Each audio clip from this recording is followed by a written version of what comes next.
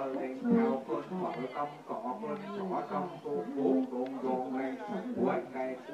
tốn cây canh bánh chiều bánh năm ba năm ba tươi tươi cơ thi giải giải đá ăn lên quân đồn cây đồn lên thảm về tư hôm nay là cái ngày đầu năm, thì hôm nay là làm cái bữa cơm cho để ờ, mát nhà, để cho gia đình nói chung là để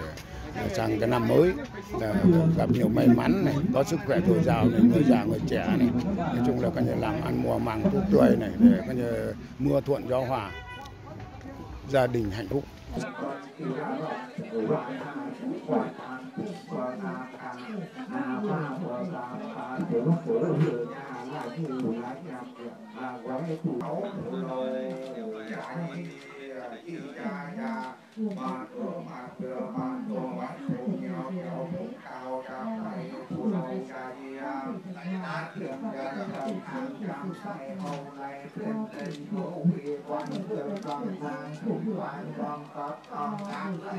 Và cho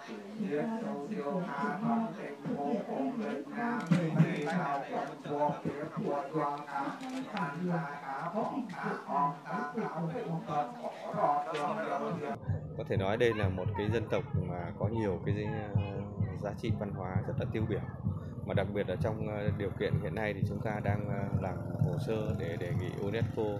ờ, công nhận Mo Mường là cái di sản văn hóa phi vật thể đại diện của nhân loại. À, thông qua các hoạt động này thì chúng tôi muốn giới thiệu đến công chúng cũng như là du khách à, hiểu sâu sắc hơn về cái à, sinh hoạt văn hóa của người người Mường mà đặc biệt là người dân tộc Mường ở, ở Hòa Bình.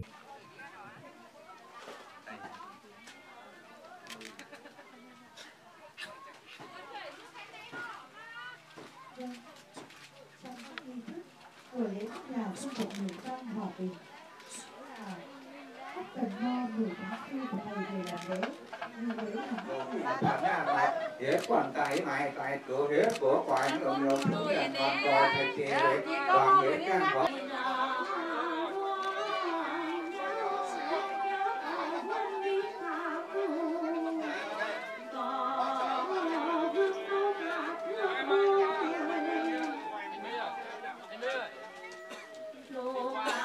新疆烤肉新疆烤肉新疆